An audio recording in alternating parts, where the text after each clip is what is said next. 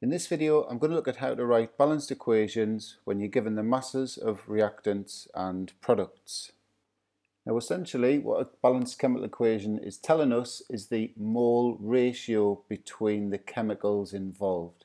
So we're going to have to turn those masses into moles and so we're going to use the mass, moles, MR formula triangle and just remember that mass must be in grams.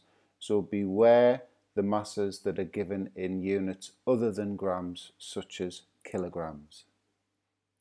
So we'll start with this question, potassium nitrate, KNO3, decomposed on heating to give potassium nitrite, KNO2 and oxygen O2.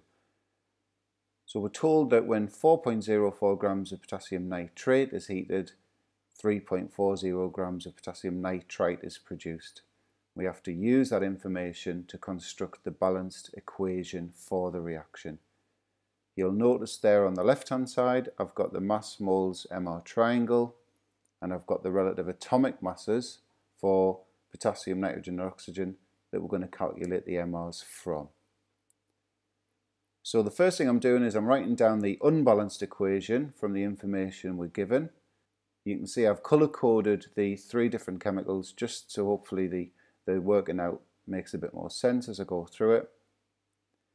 First thing I'm going to do is write down the masses of all the chemicals involved. So we're told about potassium nitrate and nitrite, that's the blue and the red. The oxygen, very easy to work out how much oxygen is produced. It's going to be the difference between those two numbers. So we get 0.64 grams of oxygen as well. The next thing, because chemists work in moles, we're going to calculate the moles of those chemicals. It's all about the moles. So that's mass over MR, so 4.04 divided by 101, 3.40 divided by 85, and 0.64 divided by 32. So you can see now that this many moles of potassium nitrate is reacting and producing that many moles of nitrite and that many moles of oxygen. So the next thing we need to do is we need to establish the simplest whole number ratio. So that's done by dividing all of these by the smallest number. So obviously that's the smallest of the numbers. You can probably see the ratio anyway, but we'll do it um, just to show you what, what to do just when the numbers get more difficult. So we get a, a 2 there, a 2 there, and a 1 there. So that enables us now, we've got the mole ratio between the chemicals, we can write down the balanced equation and there it is there. So here's one you can try now, just use that method and pause the video, have a go yourself and then play on when you're ready to hear me go through the answer.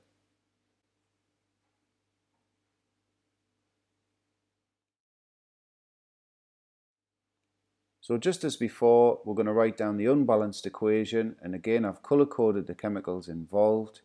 So the first thing now is masses. We're given all the masses, but the catch in this one was the fact that a couple of those masses were given in kilograms. So we've got to convert that to grams first, so there they are there. We're now going to work out the moles, so we're dividing by the MR, so we get 75 moles of nitrogen 225 moles of hydrogen and 150 moles of ammonia is produced. So the next thing to get the ratio is we divide everything by 75.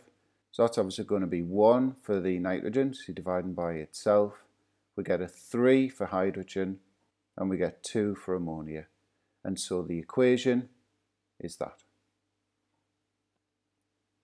Last one now, so again if you want to read that information and then you pause the video, have a go and then play on when you're ready.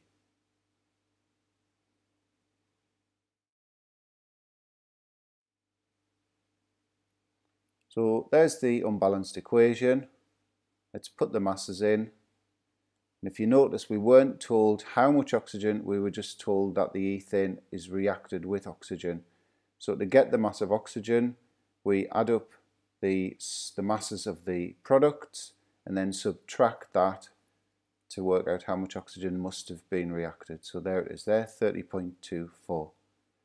And so the next thing is the moles. So dividing by the MR, we get 0.27 for ethane, 0.945 for oxygen, 0.54 for carbon dioxide, and 0.81 for water.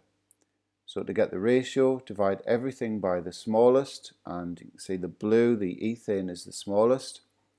So that by itself is 1, 3.5, 2, and 3. So what are we going to do now? We've got this fraction here. We've got 3.5.